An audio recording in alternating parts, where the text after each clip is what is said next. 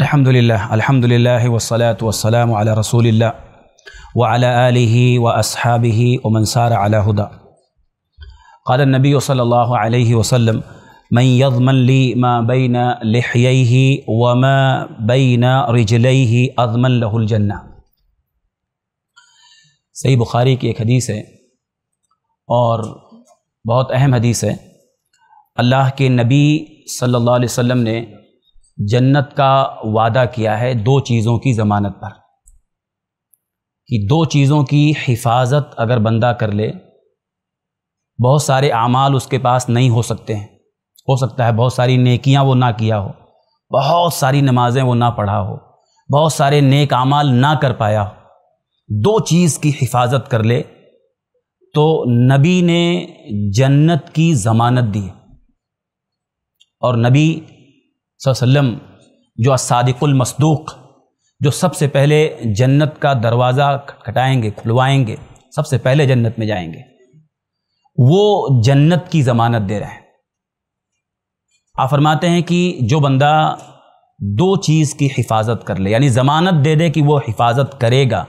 Number ایک ماں بین لحیئی ہی دونوں جبڑوں کے جو بیچ میں زبان ہے۔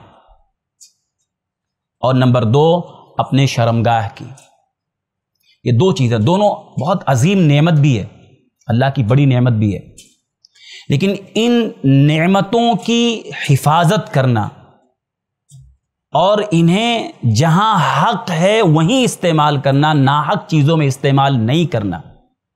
ان نعمتوں کی حفاظت کرنا جو کر لیا، نبی فرماتے ہیں اب من لہ الجنہ میں اس بندے کے لیے جنت کی ضمانت دیتا ہوں۔ نبی ضمانت لے رہے ہیں۔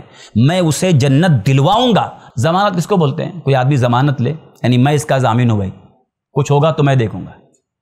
نبی کہہ رہے ہیں، میں جنت کی ضمانت لے رہا ہوں۔ یعنی میں اسے جنت دلواؤں گا۔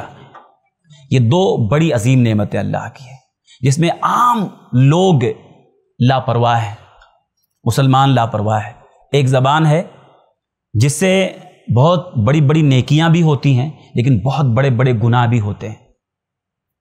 غیبت ہے، چغلی ہے، گالی دینا ہے۔ آدمی تھوڑا غصہ ہوا، گالی گلوچ دینا شروع۔ زبان کھولا، بیوی ہے، بچے ہیں، کس کو کس کو گالی دے دیتا ہے؟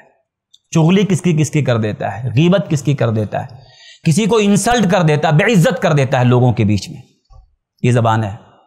اسی لیے نبی فرماتے ہیں، جو زبان کی حفاظت کی ضمانت دے دے اس کو محفوظ رکھے گا۔ کیسے حفاظت کرے گا؟ ایک روایت میں فرماتے ہیں منسمت نجا، جو چپ رہا وہ بچ گیا۔ خاموشی ایک علاج ہے۔ آدمی زیادہ دیر تک خاموش رہے۔ کم زبان کا استعمال کرے۔ جہاں خیر کی بات ہے، وہاں بولے۔ جہاں شر ہے، چپ رہے۔ جتنا زیادہ چپ رہے گا، اتنا زیادہ زبان کی حفاظت ہے۔ تو ایک تو یہ، تو زبان کی حفاظت کرے۔ اور نمبر دو ماں بین رجلئی، جو دونوں پیروں کے بیچ میں اپنے شرمگاہ کی حفاظت کرے۔ اس میں بھی بہت سارے لوگ گمراہ ہوتے ہیں اور ہوں گے۔ کیوں نبی نے خاص کیا دو چیز کو؟ زبان اور شرمگاہ۔ بہت ساری اور بھی گمراہی کے ذریعے ہیں۔ لیکن اکثر، اکثریت انسانوں کی انہی دو راستے سے گمراہ ہوگی۔ اکثریت بگاڑ جو آئے گا، یہ دو راستے سے آئے گا۔ یا تو زبان کی وجہ سے ہلاکت میں جائے گا، برباد ہوگا۔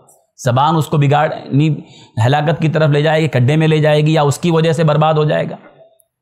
کتنے سارے رشتے ختم ہو جاتے ہیں زبان کی وجہ سے۔ کتنے تعلقات بگڑ جاتے ہیں زبان کی وجہ سے۔ کتنی ہلاکت میں پڑ جاتا آدمی، زبان ایک جملہ بول دیا اور جو ہے مار پیٹ کی نوبت آ گئی۔ زبان؟ اور نمبر دو شرمگاہ اپنے آپ کو پاک دامن رکھنا۔ بہت ساری نیکیاں نہیں کر پایا نا، لیکن اپنے آپ کو بچا کے رکھا۔ ہے اپنے دامن پر بے حیائی یا بدکاری یا فحش کا داغ نہیں لگنے دیا ہے۔ بچایا اپنے آپ کو۔ نبی فرماتے ہیں، جنت کی ضمانت دیتا ہوں میں اس کو۔ جو اپنی شرمگاہ کو بچا کے رکھا مطلب اس کو حلال راستے کے ذریعے اس کو استعمال کیا، حرام راستے میں نہیں۔ زنا کاری نہیں، بدکاری نہیں لواتت نہیں۔ اور زنا تک لے جانے والے سارے راستوں سے بچایا اپنے آپ کو۔ دیکھیے، شرمگاہ کی حفاظت میں بہت ساری چیزیں ہیں۔ ایک آدمی زنا سے تو بچے ہی، بدکاری سے بچے، ان راستوں پر لے جانے والے جتنے بھی اسباب ہیں، ان سب سے بچائے۔ اور ان راستوں پہ لے جانے والی بہت بڑی چیز جو آج ہے نا، وہ آنکھوں کا زنا ہے۔ آنکھیں بھی زنا کرتی ہیں۔ اور آج ہمارے ہاتھوں میں موبائل ہے۔ موبائل ہے۔ آدمی اس موبائل کے ذریعہ جو چیزیں دیکھتا ہے، وہ بھی اس کو زنا تک لے جا رہی ہیں۔ آنکھیں اس کی زنا کر رہی ہیں۔ نبی فرماتے ہیں جو اپنے شرمگاہ کی ضمانت دے دے، اس کو میں جنت کی ضمانت دیتا ہوں۔ ایک آدمی آنکھوں سے وہ چیزیں دیکھ رہا ہے جو اس کو زنا تک لے جانے والی ہیں۔ تو کیسے مطلب جنت کا راستہ اس کے لیے آسان ہوگا؟ کیونکہ آنکھوں سے جو ڈیٹا اندر جاتا ہے نا، وہ جا کے دل پہ چپک جاتا ہے۔ اور جب دل پہ چپک جاتا ہے، تو پھر اسے کرنے کا دل چاہتا ہے۔ ہاں وہ آگے بڑھتا ہے پھر۔ اس لیے بہت ضروری ہے کہ ان سارے راستوں کو آج بند کیا جائے جو زنا تک لے جانے والے اور یہ دو چیزوں کی حفاظت کریں اپنے زبان کی حفاظت کریں۔ چپ رہ کے، بہت دیر تک خاموش رہ کر کے، جہاں بولنا وہیں بولیں، ورنہ چپ رہیں۔ کبھی کبھی کوئی آدمی ہم کو بھڑکا دیتا ہے، کوئی آدمی کچھ آگے بول دیتا ہے۔ ہم بھڑک کر کے کچھ بھی چلانا، بولنا شروع، زبان کا غلط استعمال۔ بچیں اور اپنے شرمگاہ کی حفاظت کریں۔ اپنے آپ کو بچا، حلال راستے سے نکاح کر کے حلال راستے سے اس کا استعمال کریں، حرام راستوں سے بچائیں۔ ہاں؟ تو یہ دو چیزیں ہیں۔ نبی فرماتے ہیں، جس نے ضمانت دے دیا، دو چیزوں کی میں اس کو جنت کی ضمانت دیتا ہوں۔ میرے بھائیوں، قیامت کے دن جنت میں جانا اتنا آسان نہیں ہے۔ بہت مشکل کام ہے، بہت مشکل کام ہے جنت۔ بہت قیمتی جگہ ہے۔ اور ہو سکتا ہے بہت ساری نیکیاں ہمارے پاس نہ ہوں۔